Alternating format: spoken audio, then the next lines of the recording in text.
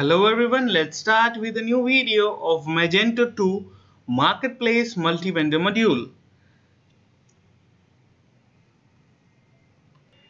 This module is most important and beneficial module for Magento 2 as it will convert your Magento 2 store into a multi-vendor marketplace where any customer can become a seller or sell products in your marketplace any customer can become seller with the approval of the admin and admin will charge commission on every sale of their products.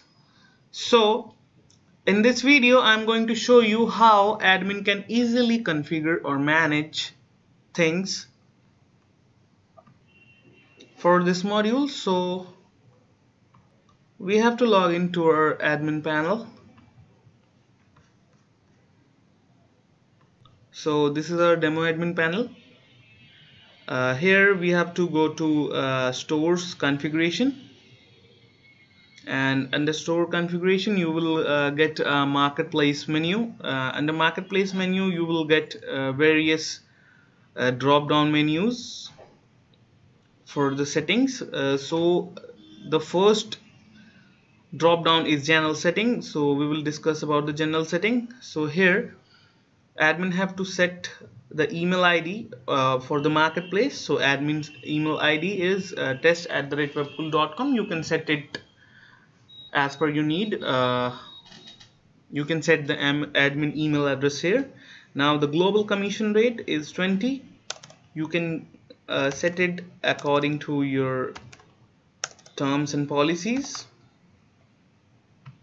Now the next field is allow seller to manage orders if it is yes then seller can easily manage their orders and if it is no then seller cannot uh, manage their orders.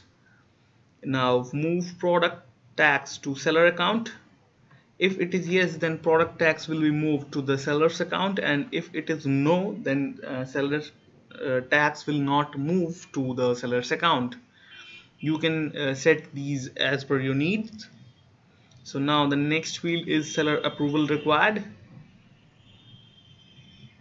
so if it is yes then the seller needs approval uh, to sell the products or become a partner uh, for the marketplace.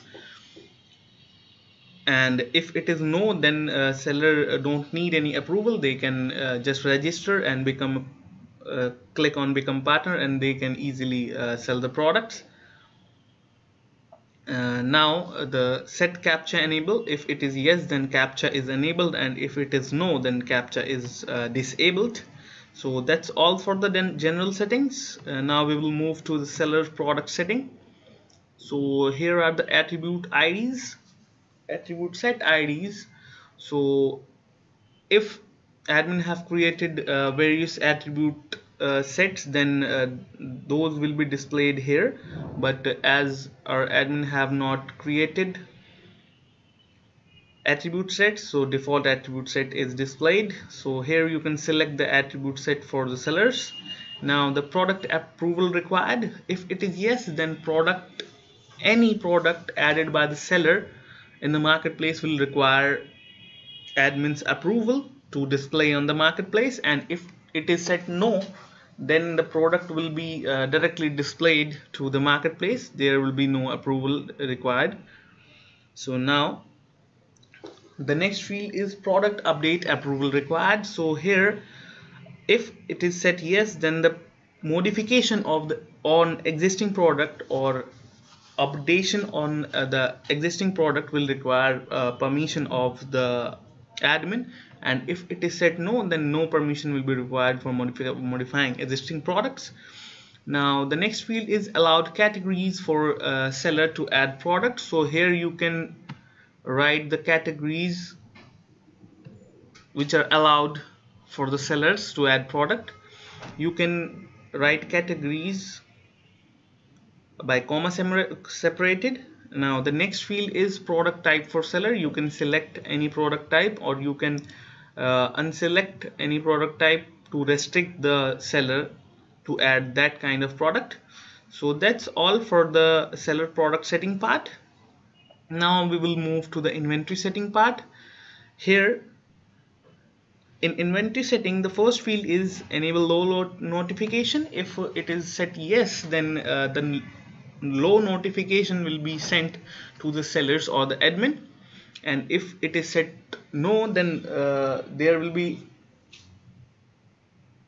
no, uh, no notification sent and will not sent to the sellers or the admin. Uh, now the low stock quantity if the stock quantity is 5 then the notification will be sent. You can set the low stock quantity as according to your need so if you set 10 then if the stock decrease and come to the 10 last 10 units then uh, the low notification will be sent to the sellers or the admin. So we will set here 5 so that's all for the inventory setting parts. We will move to the seller profile page setting. So here in the seller profile page seller can enable color picker. If yes then seller can uh, pick color. And if no then uh, color picker will be disabled. Now the next field is seller policy enable at front end. If it is yes then it will be displayed in the front end.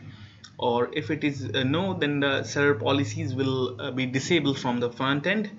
Then rewrite a seller's shop URL uh, if it is yes then sellers can easily rewrite the shop URL and if it is no then a seller cannot rewrite the shop URLs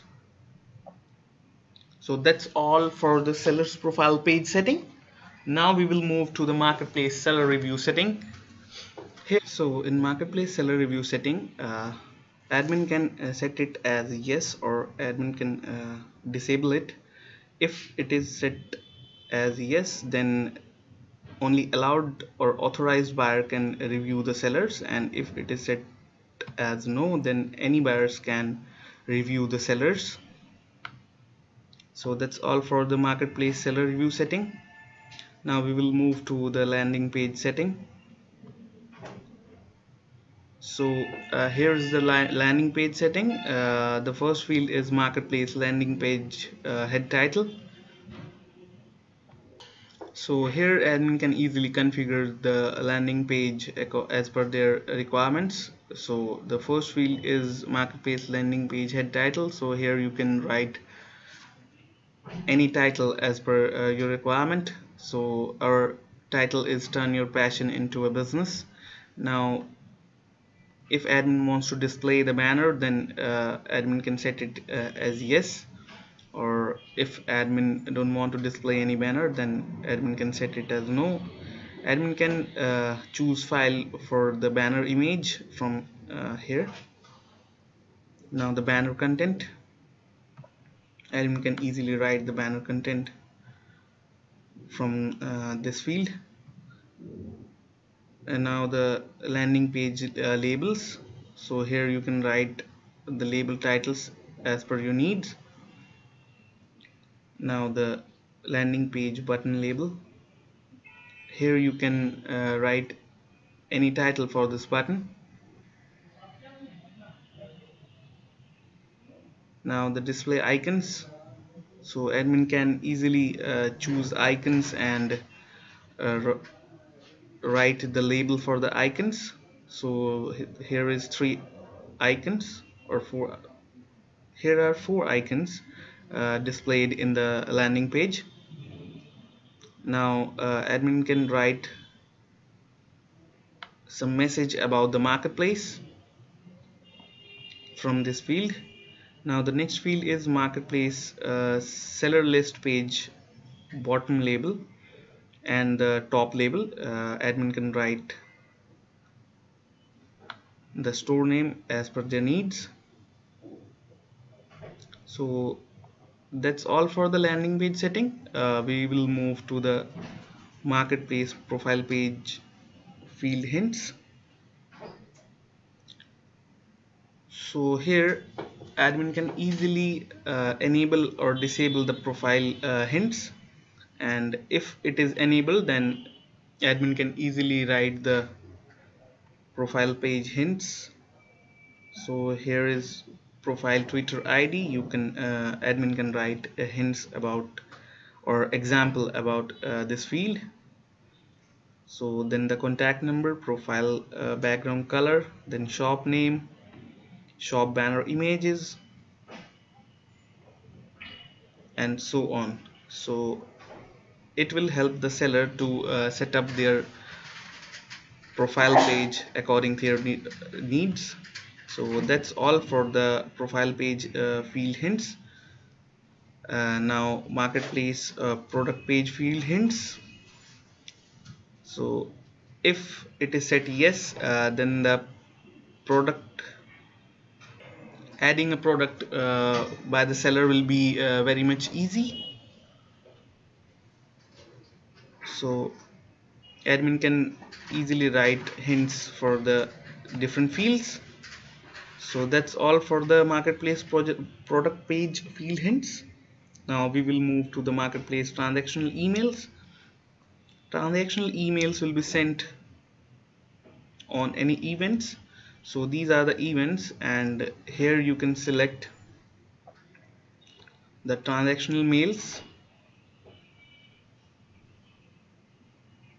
So admin can uh, configure uh, transactional mail according to uh, their needs.